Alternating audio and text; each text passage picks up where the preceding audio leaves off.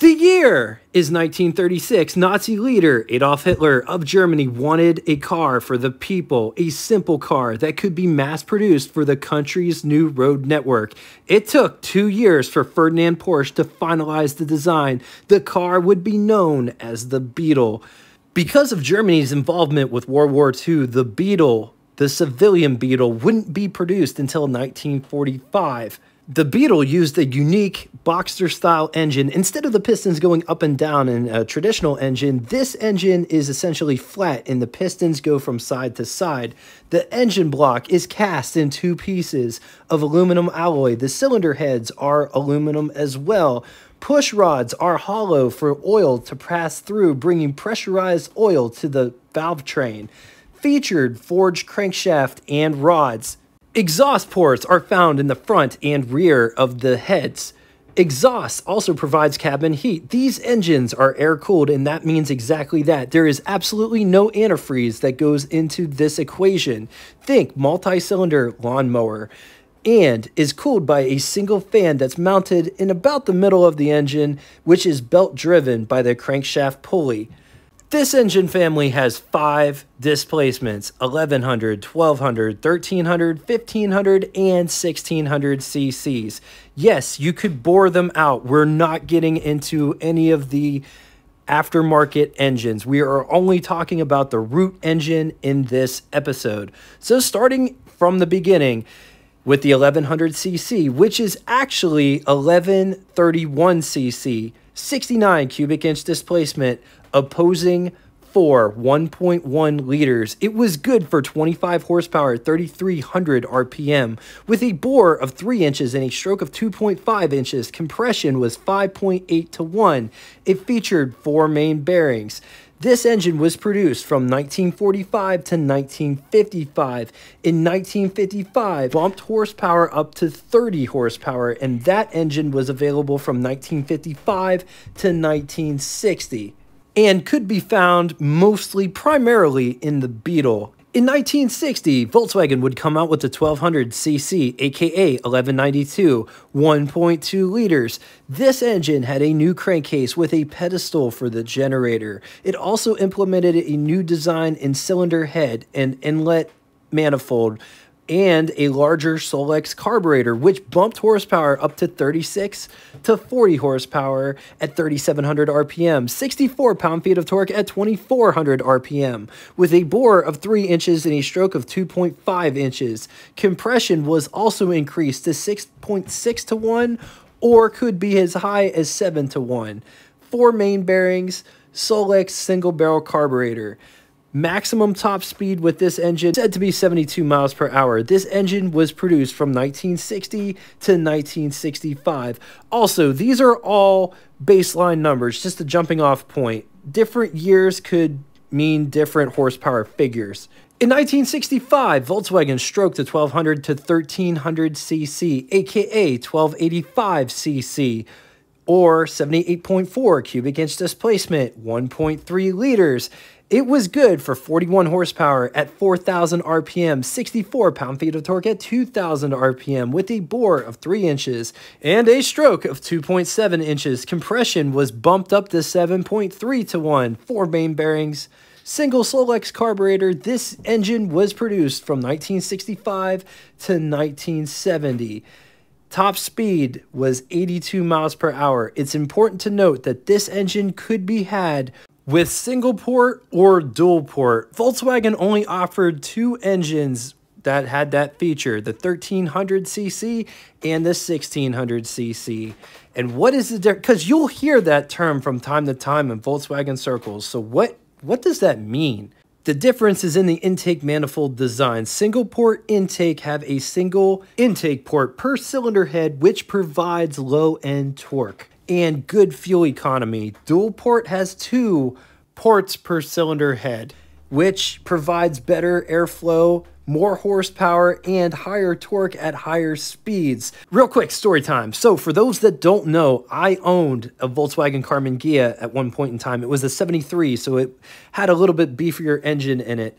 And I can attest that if you saw a hill coming up, you had to plan for it. Like you had to get a running start. But on the highway, it had decent pulling power from 50 to like 65 ish miles per hour. The real sweet spot was 65. It would go 80. But if you saw a hill coming in the distance, you would want to get a running start. Otherwise, you'd have to downshift. And sometimes there wasn't enough power. I mean, there was, you would get up the hill, but you would get up the hill slowly. One more thing I want to add there is nothing that sounds like an air-cooled Volkswagen when it's running good and proper behind your head. It just, it's a magical sound.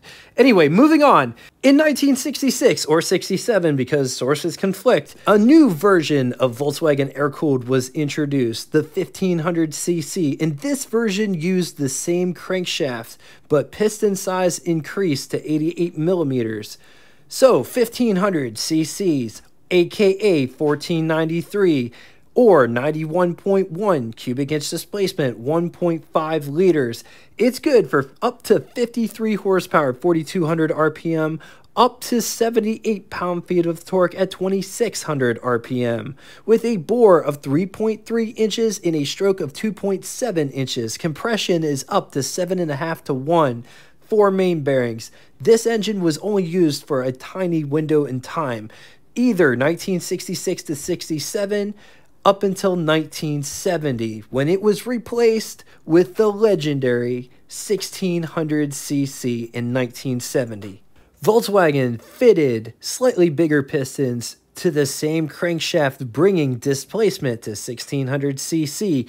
In the very first year this engine was offered, it was offered in single port and dual port.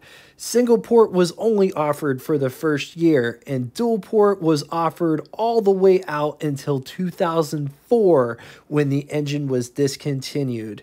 1600cc or 96.7 cubic inch displacement, 1.6 liters. It's good for anywhere between 46 to 57, some would even say as high as 60 horsepower at 4400 RPM, 82 pound feet of torque at 3000 RPM. With a bore of 3.4 inches and a stroke of 2.7 inches, compression was 7.5 to 1 for main bearings. This engine was produced from 1970 all the way out until 2004, and this engine was in the Karmann Ghia, it was in the Bus, it was in the Beetle, it was in the Thing, it was in just about every Volkswagen product at one point. Some other vehicles the 1600 was used in 1971 through 1989 Volkswagen Puma, which is a totally sweet overlooked car. The 1600 was also used in light aircraft, kit cars, industrial applications, but like all good things, they must come to an end. The 1600cc ceased production in or around 2004. Some sources say that it lasted until 2006, with the reason for cancellation being it just wasn't making enough money to produce it. All right, now it's time for Would You Rather. Two scenarios today. In the first scenario, would you rather have a 1967 Volkswagen Karmann Ghia or a 1955 Volkswagen Beetle or a 1963 Volkswagen Bus. I'm going to leave this here for a minute. If you need more time, feel free pause the video. Moving to the second scenario. Which one would you rather have? 1955 Volkswagen Karmann Ghia or 1971 Volkswagen Puma or 1966 Volkswagen Type 34 Karmann Ghia. I'm going to leave this here for a minute. If you need more time, feel free pause the video. Now it's time for Name That Tune. First person to get both the name of the band and the song correctly in the comment section will have their comment pinned to the top of it. Thank you all so much for coming out and watching this. If you'd like to get in touch with me, shoot me a comment in the comment section below or check out our Facebook group that I call the After Party. Gives you the opportunity to share your rides, stories, experiences, and pictures, videos. It's a really cool place. I'm very active on there just as I'm active on here. And if you want to talk to me, just reach out with a direct message or you can send me an email. All of it will be linked in the description below. Just know I appreciate all of the support. And until next time, toodaloo!